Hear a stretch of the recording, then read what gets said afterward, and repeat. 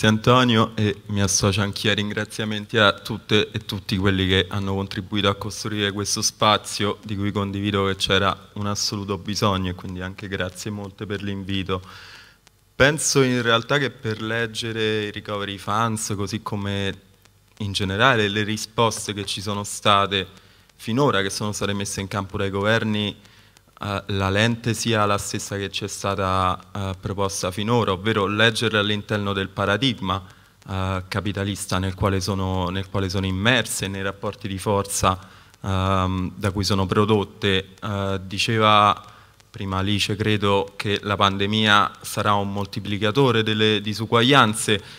Penso che la battaglia in questo momento fondamentale sia il prevenire impedire che anche la risposta della governance alla pandemia si traduca in un ulteriore moltiplicatore delle disuguaglianze perché sappiamo che l'automatismo del sistema tenderà a quello inevitabilmente.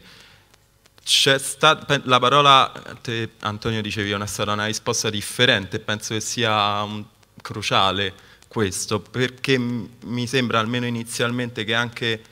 da parte di alcune, di alcune componenti del movimento anche per la giustizia climatica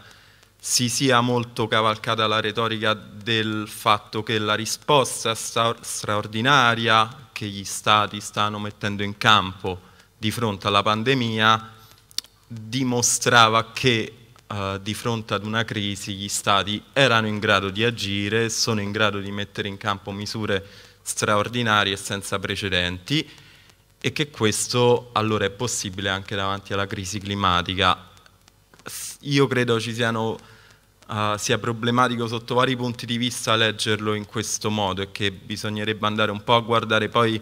uh, le differenze che ci sono tra la pandemia e la crisi climatica, che è vero sono uh, sicuramente parte dello stesso processo di crisi ecologica, sono sicuramente il prodotto dello stesso sistema capitalistico,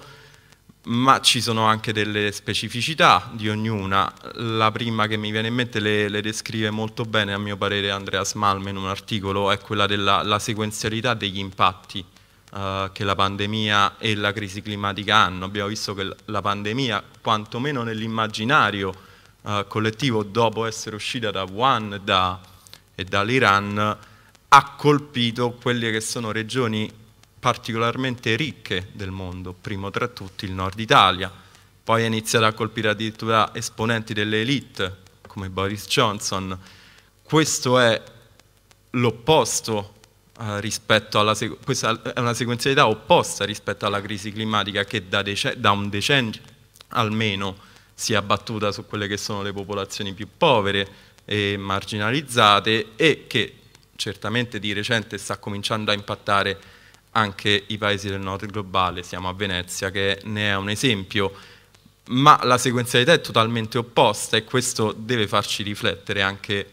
e farci leggere anche sotto questa lente la differenza nel, delle risposte che ci sono state da parte delle istituzioni,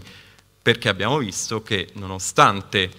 uh, ci sia un consenso scientifico e nonostante la crisi climatica sia sotto gli occhi di tutti, queste risposte non sono state messe in campo e delle ragioni ci sono. C'è secondo me anche un altro elemento uh, che va affrontato e cioè il fatto che mentre la pandemia, benché fosse naturalmente un evento uh, di, che ci si poteva aspettare, è comunque un evento specifico che ha colto tutti e tutte di sorpresa, anche le istituzioni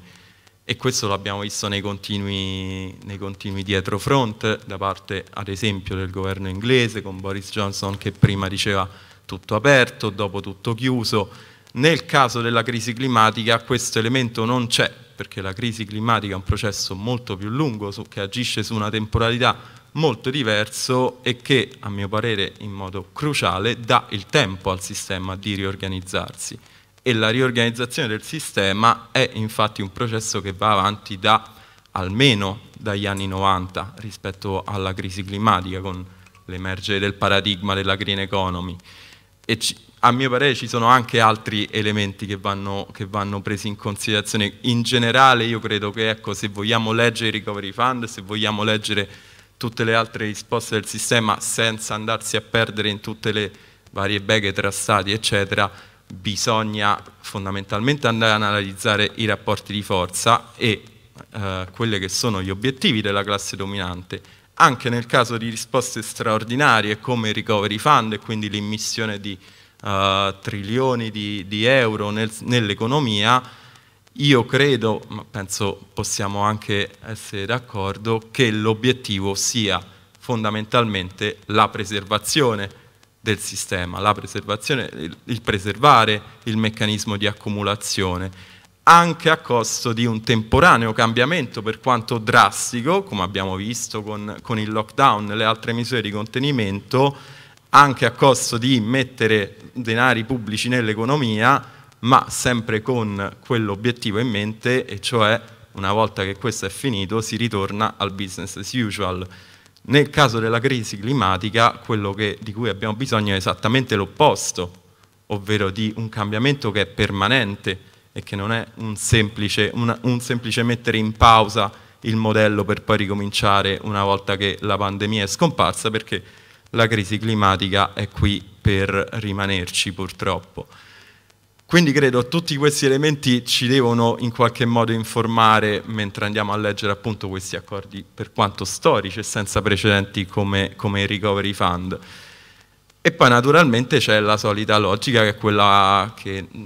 che conosciamo, insomma, del capitalismo dei, dei, disastri. Se guardiamo al recovery fund, sì, è vero, c'è una quantità di denaro che è senza precedenti, denaro pubblico che viene immesso nell'economia, quindi un intervento statale che davvero non ha precedenti, poi però bisogna andare a vedere anche chi è che veicola questo denaro e chi è che ne beneficia e la logica è anche qui molto simile a quella che si è utilizzata dopo, crisi, dopo le varie crisi, inclusa l'ultima del 2008.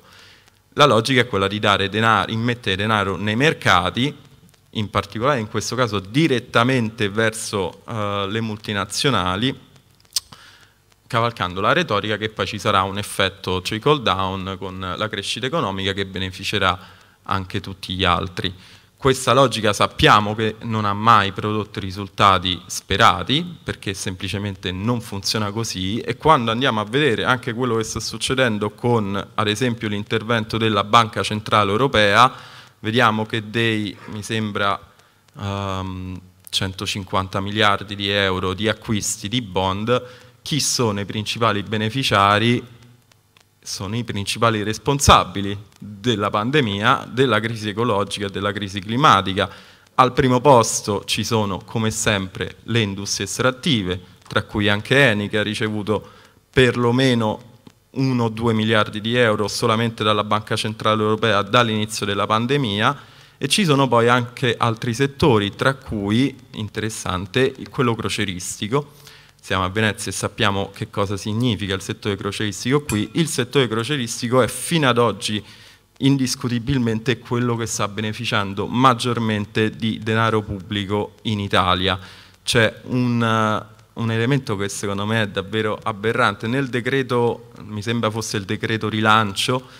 c'era un, uh, un comma di quel decreto in cui si faceva espressamente il nome di Fincantieri alla quale veniva concessa un'esenzione per poter beneficiare dei fondi della ripresa prima ancora che il decreto fosse entrato in vigore. Non mi è mai capitato in tutta la mia vita di vedere espressamente una multinazionale menzionare in un decreto così esplicitamente. È un aspetto che è passato abbastanza inosservato, ma che secondo me ci deve dare un po' la misura di quello che, che, stiamo vivendo, perché è una crisi senza precedenti, anche la risposta del sistema è e sarà senza precedenti e questo lo dobbiamo tenere a mente non per disperarci, ma perché dobbiamo davvero scardinare queste dinamiche che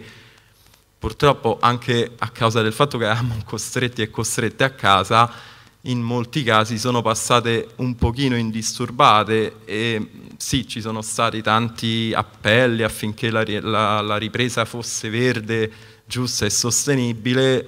va tutto bene, non sarà una petizione che scardinerà quei rapporti di forza che fanno sì che la ripresa stia assumendo questi tratti. E penso sia il caso veramente di ricompattarci e andare a vedere cosa è successo fino adesso, riprendere in mano anche quelle che erano un po' uh, delle assunzioni, delle premesse, delle strategie che avevamo prima della pandemia e capire come quello che è successo deve andare a informarle, quali sono i mutamenti che richiedono nuove strategie, ma soprattutto nuove coalizioni, perché penso che di questo uh, ce ne sia davvero un assoluto, un assoluto bisogno.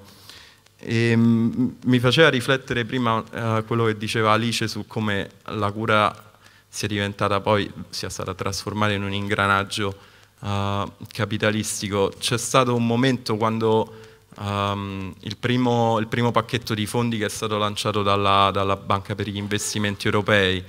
um, che era ovviamente il solito pacchetto di fondi per le banche, e immediatamente si è scatenata una chiamata da parte di tante ONG che invitavano uh, a gran voce la BEI, la Banca per gli investimenti europei, a investire nella sanità, no alle banche sia alla sanità, che è una, un qualcosa che a me terrorizza perché la privatizzazione della sanità italiana è stata orchestrata di fatto dalla Banca per gli investimenti europei. C'è il ruolo della Banca degli investimenti europei in tutte le riforme di privatizzazione della sanità in Europa e quando vediamo uh,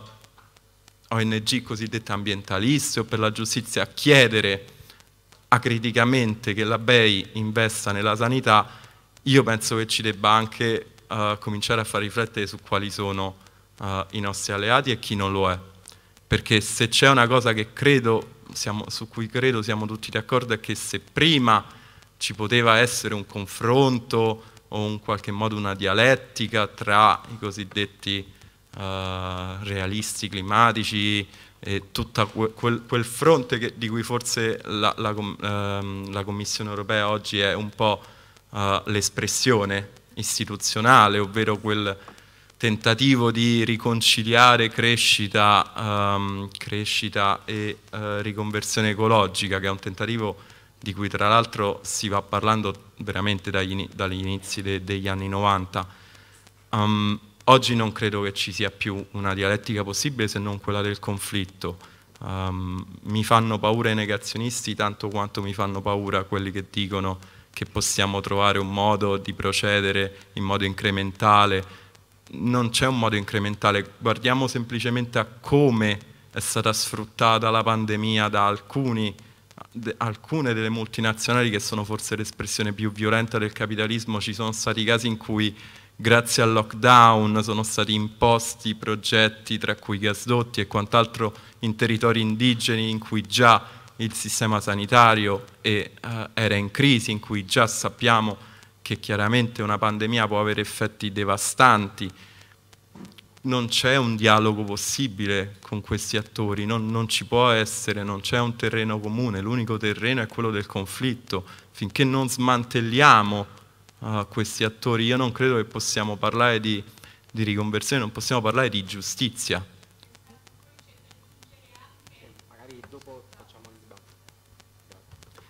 Ehm, ah, ho quasi finito. Ehm, per cui penso sì, tante cose sono cambiate e naturalmente insomma, ci ha, pre ha preso tutti e tutte alla sorpresa e chiaramente sono stati mesi complessi, ma penso che sia il momento di veramente ritornare a dove eravamo prima, riprendere in mano le redini perché era un, uno spazio davvero promettente quello in cui eravamo, cioè non solo l'esplosione dei movimenti per la giustizia climatica, ma anche e soprattutto c'era finalmente una strategia coerente tra movimenti e anche alcuni pezzi della società civile in cui si stava cominciando davvero a intaccare quello che è il potere di alcune di queste multinazionali e del sistema che rappresentano. È vero che siamo stati